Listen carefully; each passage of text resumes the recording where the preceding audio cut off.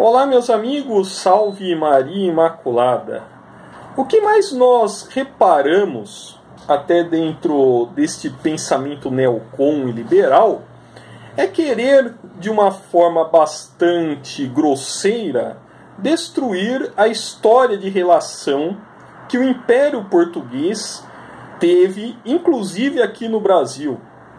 O Brasil que fazia parte deste império, né, deste grande império ultramarino. Pois bem, me enviaram uma montagem bastante estúpida, porca, feita pelo Vem Pra Rua Minas Gerais, esses liberais aí, comparando, vejam só, Império Português, Portugal, com a quadrilha do PT. Como se Portugal tivesse roubado o Brasil, assim como, é, claro, sobre o fato cristalino do meio do PT ter roubado o Brasil. É, é uma coisa bastante retardada, até que enviaram para mim aqui. Eu quero até ler para vocês aqui, né? Fizeram até um, uma montagem bastante tosca aqui. Você sabia, em 322 anos, Portugal levou do Brasil, em valores atuais, cerca de 112 bilhões, 800 toneladas de ouro puro. Com certeza, um número totalmente inventado, porque isso daí não tem fonte nenhuma historiográfica, não tem nada. Simplesmente fizeram a montagem. Né, agora, o PT falaram aqui: em 13 anos o governo do PT deixou um déficit no cofre público de cerca de 172 bi. Isso aí é fato. É que são os rombos nas contas públicas. É. Daí escreveram: em 13 anos o PT conseguiu destruir o Brasil mais do que Portugal fez em 322 anos. É, aí começa a imbecilidade de falar que o Brasil foi destruído por Portugal. Vejam só a mentalidade desses neocons e liberais.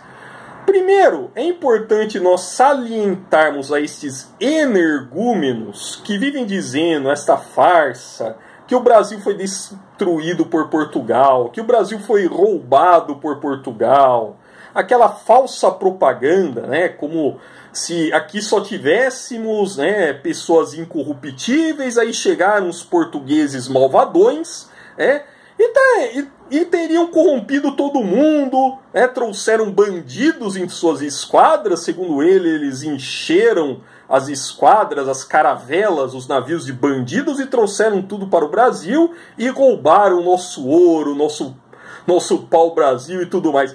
É exatamente isso que os historiadores do MEC querem que as pessoas, né, no caso, façam de compreensão é, nesta tamanha desta mentira.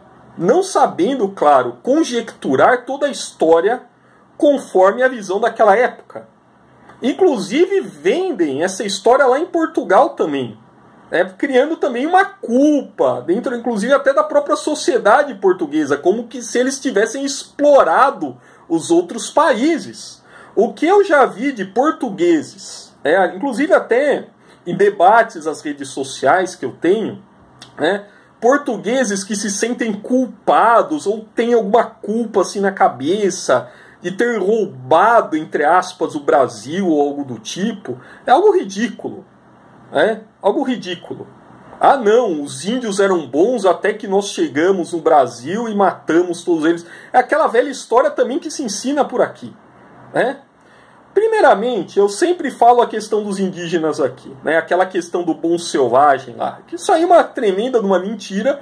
Os índios eles viviam se matando sozinhos, viviam se canibalizando, fazendo infanticídio e tudo mais. É, eu já falei isso num outro vídeo que eu lancei recentemente aqui no vlog, né, falando sobre essa questão dos indígenas. Eu vou até dar uma minimizada nessa questão aqui, senão o vídeo vai ficar muito grande. Né? Mas vale nós ressaltarmos aqui que o Brasil fazia parte do Império Ultramarino Português.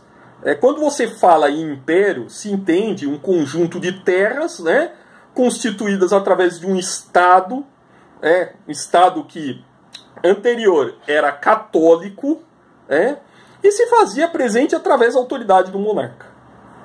É claro que em Portugal você tinha regiões, é, onde você tinha as cortes, é, aonde se fazia presente as cartas forais, é, através das questões de suas regras e também de suas curiosidades e suas peculiaridades e regiões. É? Tanto que você tinha os forais manuelinos, é, tudo daquela época. É, Portugal sempre se dividiu, assim como as Espanhas também. Cada região tinha uma carta foral. É, os fueros, nas Espanhas era fueros. É? Então, você tem aí a questão do monarca, é, no caso de Portugal, a Casa de Aves. É? E esse império respondia a um rei. É? Pegando em Portugal, Dom Manuel. É? É, inclusive, quando juntou Portugal em Espanha, Dom Felipe II.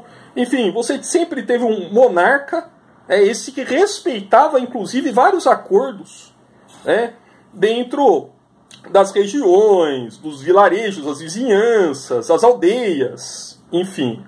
É? O monarca ele era um moderador, inclusive um monarca católico. É, ele não era absolutista que nem um monarca herege britânico, por exemplo. É, ou não, ele também não era liberal também. Vale nós olharmos com o conceito daquela época. É? Então, a sua majestade em Portugal comandava todo esse império. Né? E o que unia o império? Era o catolicismo. É, o catolicismo ele criava esta união entre o império. Não apenas o império português, o império espanhol também se criava a união através do catolicismo. É, o que unia as Espanhas, a Espanha com os seus vices-reinos era o catolicismo. As regiões da Espanha, é, também o que unia essas regiões era a peculiaridade do catolicismo, era a mesma religião. É, que unia o português e, os, e o espanhol também era o catolicismo. É. Você tinha as regiões Navarra, Castélia, León, tudo unido pelo catolicismo nas Espanhas. É. E o que unia o Império Português era o catolicismo, o Império Ultramarino, né? como você tinha na África, na Índia, na Ásia, nas Américas, enfim, era a questão do catolicismo. É, você tinha uma religião em comum aí. Né? Por exemplo, Brasil e Angola compartilharam, compartilhavam da mesma religião. Cultura latina também é tudo moldado através dela. Né? Porque tanto Portugal e Angola né, assim como Brasil e Angola, compartilhavam da mesma cultura. Através da mesma questão do próprio império. É? Claro, você tinha peculiaridades e regiões, claro, dependendo, uma região não era igual a outra, é? mas todas elas eram unidas pelo catolicismo, como eu falei aqui. É? E daí, claro, vem aquela história boba, né? Ah, o Brasil ele foi roubado porque Portugal se uniu com a igreja para roubar o Brasil, né? Nem inventa aquela história besta. Né? Não é verdade. Né? Porque, primeiramente, Portugal sempre fez a parte né, dela aqui no Brasil. Né? E sempre fez parte da história do Brasil a presença de Portugal. Né? Não existe esse negócio da questão dos invasores. Não, o português eles veio aqui para o Brasil para quê? Para se juntar, claro, com os habitantes naturais desse país, que eram os índios. Houve uma miscigenação desses povos, juntamente depois com o negro, é? e que formou a sociedade brasileira. É? Houve uma, um elemento de adição no caso aqui. É, Portugal que viabilizou tudo isso daí através também da Santa Igreja Católica. É, toda a missão das ordens militantes, como os jesuítas, os dominicanos, franciscanos, enfim, todas as ordens que tiveram presentes aqui no Brasil, que no Brasil mais os jesuítas, é, que fundaram inclusive São Paulo, é, e inclusive muitas missões, casas de caridade, enfim, criaram uma verdadeira rede aqui no Brasil. É? E sempre houve uma preocupação da Igreja Católica em salvar as almas. Salvar as almas dos indígenas, dos pobres, das pessoas. Como expliquei aqui em um outro vídeo também. É? E se o Império Português não tivesse viabilizado isso, é, nada ocorreria. Nada ocorreria. Se não houvesse Igreja Católica, aqui nós estaríamos, no caso, nos canibalizando. Não existiria Brasil. Não existiria, né? Então existe toda uma decorrência aqui, ó, Império Português, Igreja Católica e civilização aqui no Brasil. Você tirar qualquer elemento aqui, nós não teríamos tudo isso. Né? Isso, claro, estou citando, mesmo com todas as dificuldades entre conflitos de poder temporal, poder espiritual, entre a Casa de Aves e o clero, enfim, entre as missões da igreja militante, que houve, claro, várias discussões com a Casa de Aves, né, com os Bragança, enfim, houve também uma, uma série de debates e disputas aí. É, porque onde há interesses, existem, claro, certas disputas. Né? Aliás, uma coisa que nós deveríamos até colocar aqui: é, os portugueses sempre foram desbravadores. O homem ibérico ele sempre foi forte. É? E uma outra questão aqui é a palavra até colônia, que eu não gosto muito de utilizar. Né? O Brasil fazia parte sim de um império. Né? A palavra colônia vem de colono. É, eu acredito que o Brasil não houve essa questão assim, apenas você jogar pessoas, olha, vivam aqui, acabou. Não é bem assim. Houve, no caso, uma construção de uma sociedade e de um marco de civilização aqui no Brasil. Por exemplo, se você pegar a questão da colonização que você teve nas 13 colônias britânicas lá da Inglaterra, você vai ver que lá simplesmente jogaram os puritanos que estavam fugindo da Revolução Protestante, é, daí, da, dos anglicanos lá, que perseguiam os puritanos, os batistas, enfim, todo esse pessoal, foram lá e jogaram né, naquela região das Américas do Norte é, na região do Canadá, dos Estados Unidos, enfim. É, eles fizeram uma plantation lá, né, uma colonização através dessa questão aí. Aqui no Brasil houve uma coisa totalmente diferente. Aqui houve uma construção de uma civilização, de um marco civilizatório. Porque o catolicismo propiciou isso daí. Principalmente o tratamento com o índio. Diferentemente do que isso foi feito lá nas três colônias britânicas que saíram matando todos os índios. Aqui não, aqui se manteve o indígena. E, inclusive, no caso, o incluiu dentro dessa sociedade, através da miscigenação, juntamente com o negro, posteriormente, né? brancos, negros, indígenas, todos numa mesma sociedade. Claro, depois nascendo mulatos, enfim, né? Então, você teve essa questão aí social dentro do Brasil que você não teve em outros países. Né? Você teve, no caso, nos vices-reinos espanhóis e você teve no Brasil, países católicos, no caso. Né? O que ocorreu no Brasil foi uma construção de uma sociedade com uma religião, religião católica, cultura, costumes, que até hoje permanecem no Brasil, enraizados no Brasil. Né? Essa cultura está enraizada porque o Brasil foi fundado em cima do catolicismo. Né? Aí que se construiu uma sociedade nessa terra aonde tudo funcionava razoavelmente. A construção, por exemplo, das cidades, você tem aqui no Brasil, que você teve aqui no Brasil, por exemplo, igualzinho, né? Lá em Portugal, você tinha lá em Portugal, todas as cidades eram ordenadas, organizadas, seguindo o mesmo padrão a igreja no centro da cidade.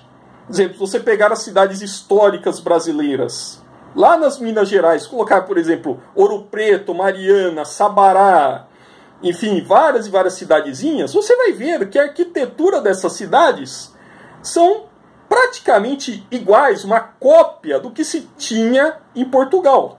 Que se tinha, por exemplo, na região de Coimbra, né, na região do Algarve, na região de Lisboa, região do Porto, enfim. Né? Então, é, na região do Douro, por exemplo, aqueles vilarejos, aquelas aldeias, você sempre teve uma montagem de cidade igual. E foi trazido esse padrão aqui para o Brasil também. As Espanhas a mesma coisa. Também fizeram isso daí nos vice-reinos. Né? Esse modelo de cidade, de organização, não é à toa, porque a igreja sempre esteve no cotidiano do povo. O povo ibérico, inclusive, né? O catolicismo moldava o cotidiano das pessoas, as pessoas acordavam com o sino da igreja, iam almoçar com o sino da igreja, iam dormir com o sino da igreja. Era feito uma rotina em cima da Santa Igreja Católica. É? O povo vivenciava isso. Então a igreja sempre teve que estar no meio de uma cidade. Hoje não, hoje ela está jogada em qualquer canto. Aqui em São Paulo, por exemplo, você não sabe, porque a igreja mesmo, Catedral da Sé, ela fica no meio de tantos arranha-céus que você não consegue mais ver ela. Um prédio tão bonito desses. É? Um exemplo, o pátio do Colégio Jesuíta, também no meio de tantos prédios, o Marco Zero de São Paulo. Enfim, é, hoje as cidades elas viraram arranha-céus, mas naquela época você tinha uma certa organização, né? Tudo funcionava razoavelmente. Isso volta a dizer que mesmo com todos os efeitos, inclusive de habitação, é, com problemas, e claro, também a questão da escravidão, também, todos nós sabemos, teve exageros, né? aliás, inclusive denunciados pela Santa Igreja Católica em cartas, bulas, enfim, inclusive pelos papas da época, né? Porém, em Portugal, nós não podemos retirar o crédito de Portugal, sempre investiu aqui no Brasil.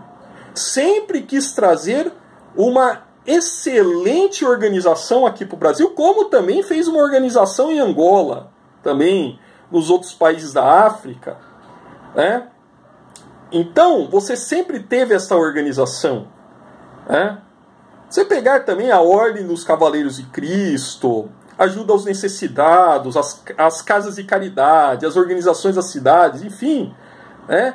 Eu não vejo o Brasil sem Portugal. Essa que é a minha diferença com esses liberais, neocons, enfim, eu não consigo ver o Brasil dissociado da imagem de Portugal, não consigo ver. É, eu desconheço esse Brasil que esse pessoal quer vender aí, eu desconheço. Não sei, não sei que tipo de Brasil eles querem vender. Um Brasil anglo-saxão? onde o inglês tem que ser predominante, nós esquecemos o nosso idioma, né?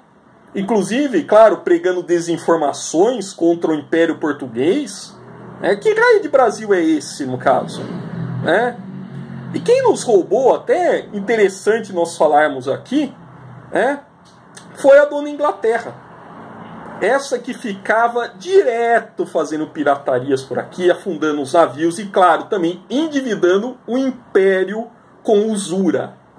É, os ingleses foram tão canalhas que pela frente eles faziam o endividamento do império. Inclusive depois até da proclamação da independência aqui no Brasil, que houve um conchavo aí entre até, até os próprios liberais, maçonaria, enfim, né?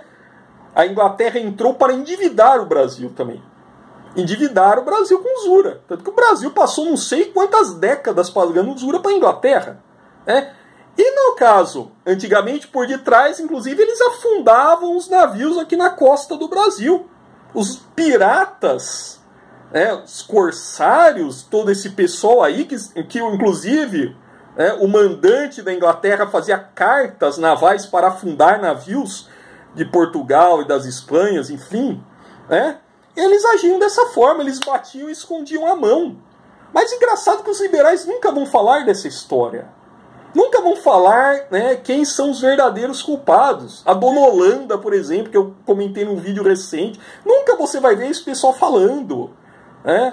Uma coisa que, claro, devemos criticar também foi aquele tratado mal feito de Windsor. Também que através de um casamento entre João I e Filipa de Lancaster é, obrigava Portugal a comprar tudo da Inglaterra. É, se a Inglaterra fosse defender Portugal, por fim, acabou sendo utilizado para uma outra coisa, mas Portugal levou mais prejuízo. É, um péssimo acordo, inclusive, um dos mais antigos do planeta, desde o século XIV. Enfim, né? Somente pelos nossos irmãos portugueses terem vindo para cá, desde Pedro Álvares Cabral, depois de terem rezado a primeira missa, a missa de fundação aqui do Brasil, através de, do Frei Henrique de Coimbra, né? Trazido também o catolicismo através da missão militante, a cultura ibérica, a cultura latina, né? essa genuinamente católica, né? porque você não pode falar da Ibéria, a cultura latina, sem falar do catolicismo. Está tudo junto, é igualzinho você falar do Brasil sem falar de Portugal. É tudo incluído né, no Império. É? Isso tudo ajudou a formar essa sociedade que nós temos hoje, a sociedade brasileira, que esse pessoal tem raiva, pelo jeito. É? Esse povo mestiço, como eu falei, mistura de branco, português, índio, negro, é, que se identificou inclusive com o catolicismo, é que propiciou inclusive toda a moldagem da sociedade, é, com costumes, tradições, festejos. É, o Brasil, aliás, é um dos países mais ricos do planeta se tratando a questão de costumes, festejos. É só andar pelo interior do Brasil, até como os portugueses falam, pelo interior. É. E, assim, falar do interior sem citar os costumes, as tradições, é um crime muito grande. É. O Brasil é muito grande, é um país maravilhoso. Então, esse papinho imbecil né, e energúmeno que fomos roubados por Portugal é ridículo. É ridículo. Nós rechaçamos esse papinho desses liberais, neocons, esquerdistas também vivem falando isso daí. É, é que é ranço contra a Igreja Católica. Ranço contra o Império Português Católico. É, inclusive portugueses que têm ranço da sua própria história também temos. Infelizmente, enganados. Também aqui no Brasil, pessoal enganado por livro do MEC. É, então nós devemos sim denunciar esse absurdo que esse pessoal anda falando, devemos contar a história verdadeira. É? Que sem Portugal não existiria Brasil, não existiria a igreja aqui no Brasil e nós estaríamos perdidos. É? E ponto. Isso daí, só por esta questão, aí vale por qualquer mais qualquer riqueza. Nosso país é um país rico. É, é um país maravilhoso. O que torna ele mais maravilhoso ainda é a sua história, é a sua fundação dentro da Igreja Católica, junto, claro, com a ajuda do Império Português. Tá bom, pessoal? Forte abraço, fiquem com Deus e até o próximo vídeo.